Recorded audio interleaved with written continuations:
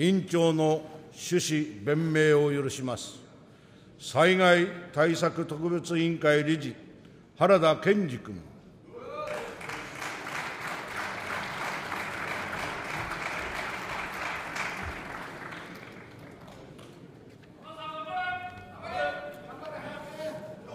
ただいま議題となりました法律案につきまして、提案の趣旨及びその内容をご説明申し上げます。災害の被災者に対する経済的な支援として、義援金は大きな役割を果たしています。義援金は寄付者が被災者を支援するために拠出したものであり、生活を再建するための資金として、被災者自らが使用することを期待されているものであります。本案は令和元年8月26日から同月29日までの間の豪雨による災害及び令和元年台風15号、令和元年台風19号、または令和元年10月24日から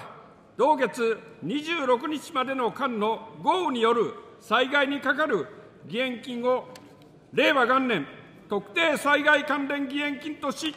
その拠出の趣旨に鑑み、被災者等が自ら義援金を使用することができるよう、同義援金について、義援金の交付を受ける権利の差し押さえ等の禁止、および義援金として交付を受けた金銭の差し押さえの禁止をしようとするものであります。なお、本案は施行前に交付を受けるなどした令和元年特定災害関連義援金についても適用することとしておりますが、施行前に確定した差し押さえ命令等に関しては、その効力を妨げないこととしております。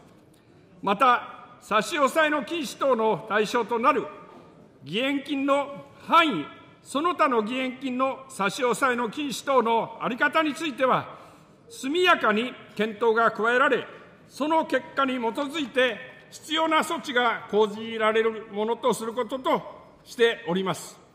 本案は昨28日の災害対策特別委員会において、全会一致をもって成案と決定し、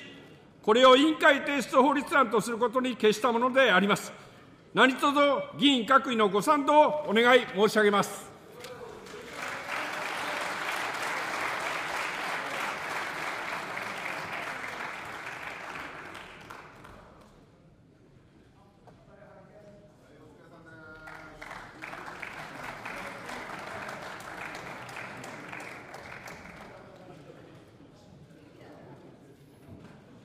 採決いたします。本案を可決するにご異議ありませんか？ご異議なしと認めます。よって本案は可決いたしました。本日はこれにて散会いたします。